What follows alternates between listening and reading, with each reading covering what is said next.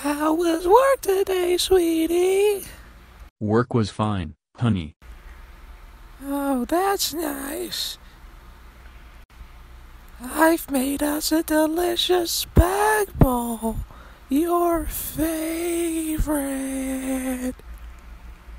Oh boy, my favorite. Little Timmy got a main part in the school play. He's gonna be the Tin Man.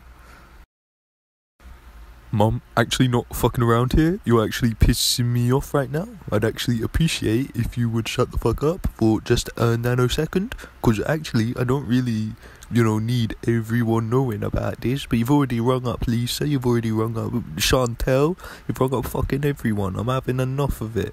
Having enough. You're, you're, Fuck me, you're doing booky shit and it's getting on my fucking nerves. Just give me my fucking spag bowl, you stupid scat. You're actual pissing me off, you know. I pushed you out of my fucking vagina. You didn't crawl out. You didn't fall out.